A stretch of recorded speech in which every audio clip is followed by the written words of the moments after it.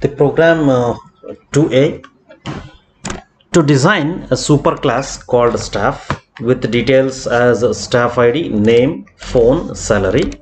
Extend this class by writing three subclasses teaching technical and contract. Where in the teaching subclass you need to introduce uh, with additional details domain publications. In the technical subclass you need to in- include the additional detail skills in the contract subclass you need to include the additional detail period. Okay? So write a java program to read and display at least three staff objects of all three categories. As we can uh, just read out this problem definition it says that you need to uh, have the inheritance concept here so this program basically demonstrate the demonstrates the inheritance concept where you create a superclass and the subclasses. So the subclasses can have access to the superclass members isn't it? Okay. Uh, so that is what we need to demonstrate here. And here uh, the one example is for staff. So for uh, it it can be teaching staff technical staff or a contract type of staff the basic details such as uh, the id name phone salary remains so you know uh, same. However for the technical staff uh, you know additional details skills for teaching staff additional details are domain publications like this. Okay?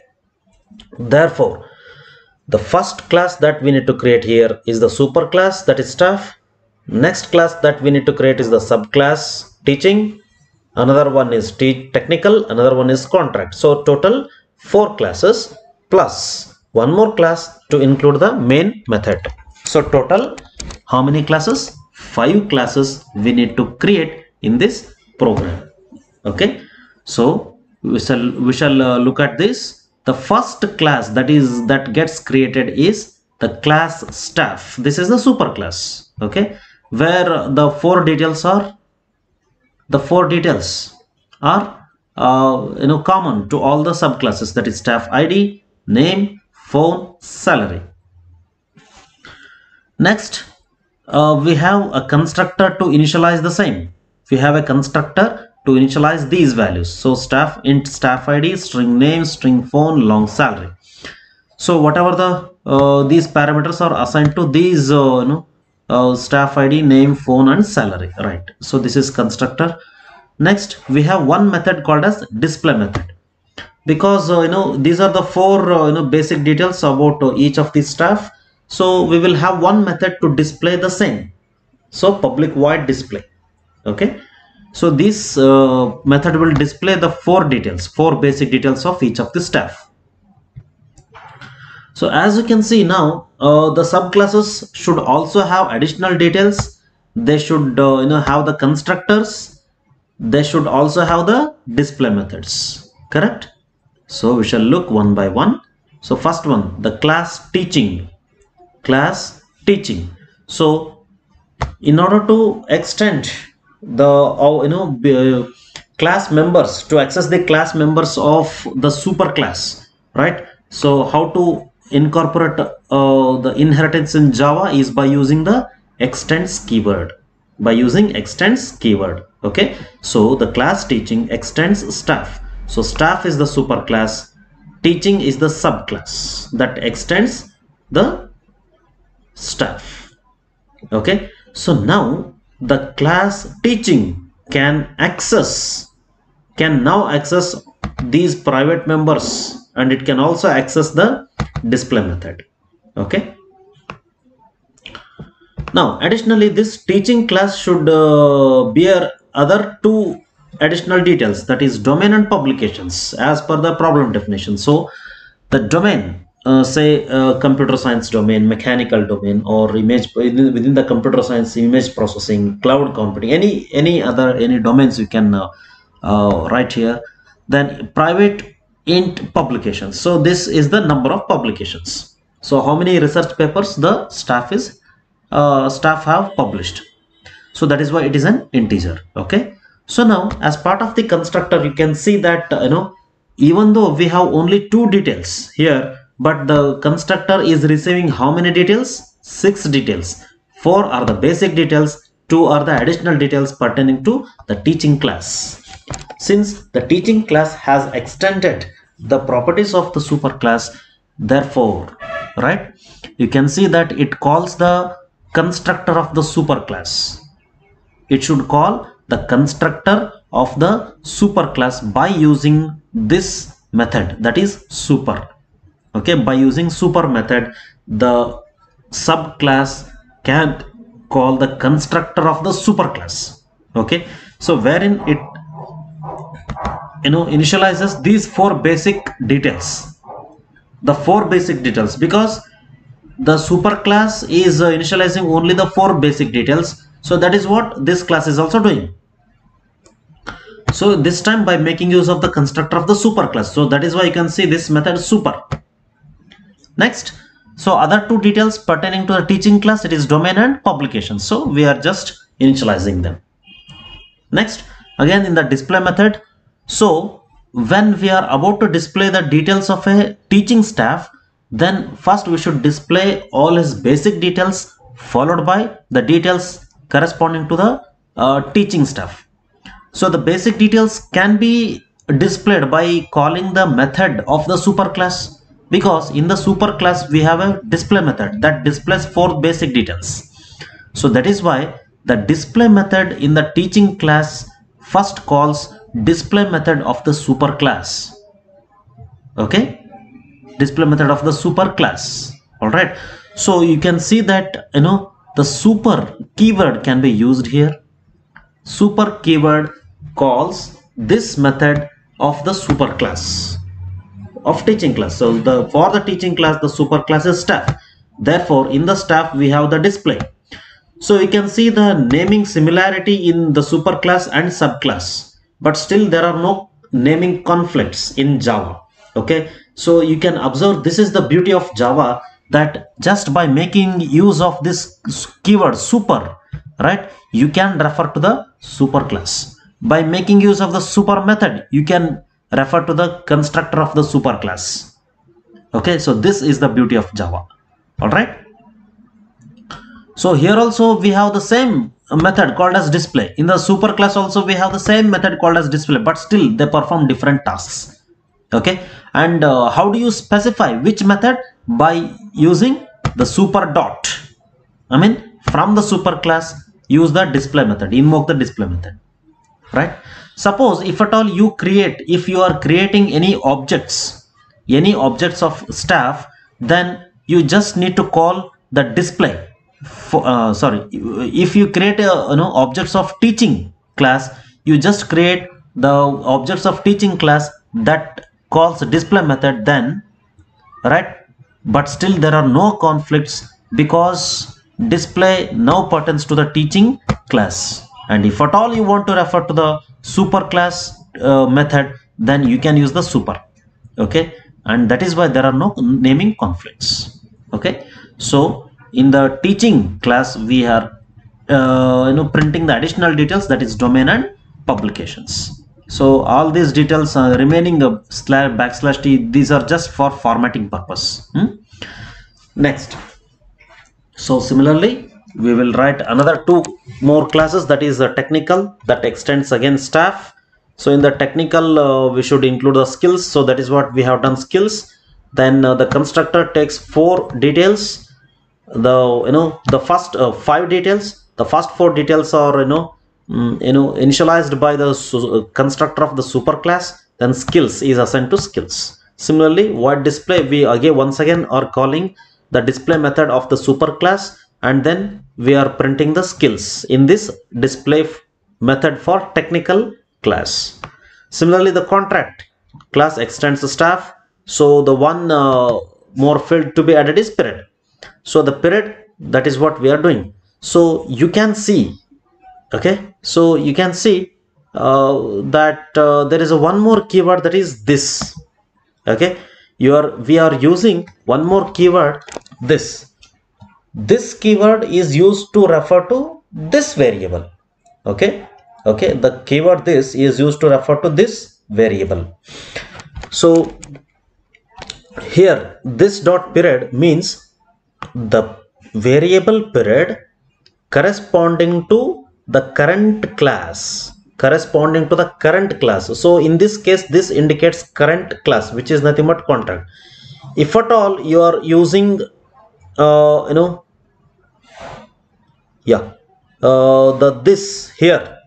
If at all you are using this here uh, where in other classes such as uh, publication see here absolutely there are no conflicts. This dot domain is equal to domain. Okay so why this keyword is used to refer to this class? Okay. I mean when we have the variables of the same name variables of the same name. Say for example here p is capital right? So what i will make is p small. Okay. P small.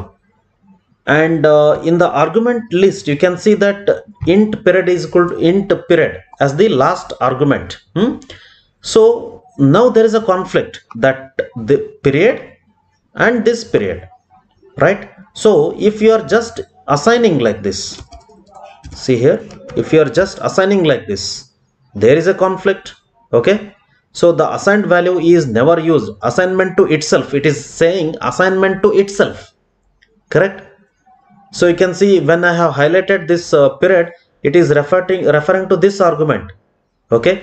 Therefore, how to differentiate the period which you have declared as the private member of the contract class and how to uh, and uh, this period variable which you are receiving as the argument. So that is by using this keyword. Okay. This keyword so that the you know this I mean the period you can see when I have highlighted that so even this also got highlighted okay so even though you have the naming conflicts but there is no absolutely problem because we are using this keyword. And this is one more beauty of the Java program. You can use uh, the you know uh, variables of uh, the same names but still there are no naming conflicts where additional uh, you know uh, facility is provided by Java that is this keyword. Okay? All right next uh, this contract class also has uh, one method called as a display where it first calls the super class display method and then finally prints the period. All right?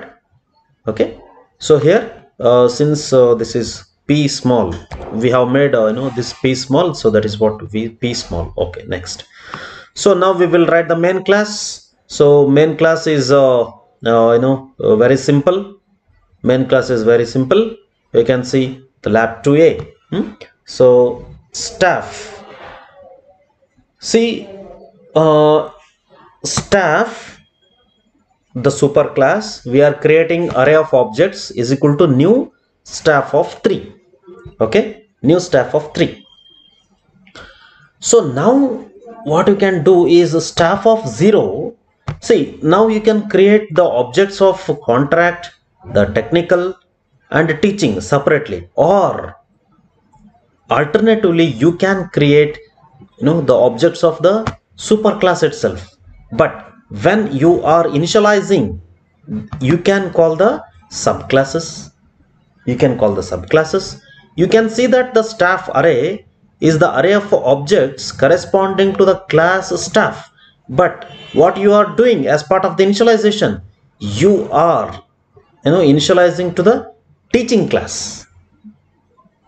So this is one more beauty of java okay?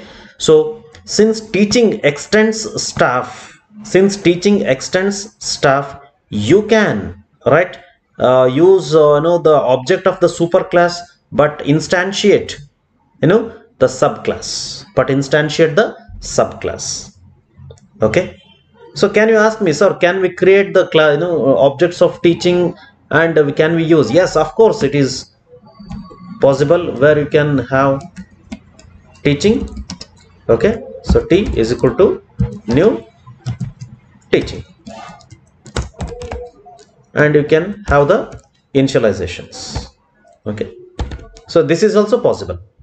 This is also possible. So i will uh,